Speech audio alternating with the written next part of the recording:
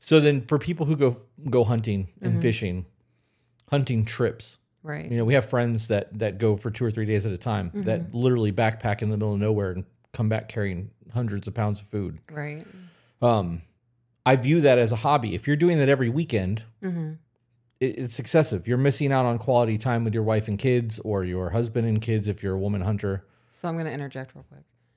Do you have to go hunting every weekend? Because I feel like if you take down a 300 pound deer, you're kind of good on meat. Well, it's not. So yes, yes, it is. Um, it's it's not that it's necessary to go every single weekend. Right. So it can become a social time, which leads to escapism. No, I, I think that I think that that's a threefold thing. You are getting it could be a social thing because you could be going with your brother, your cousin, your buddies, or whatever.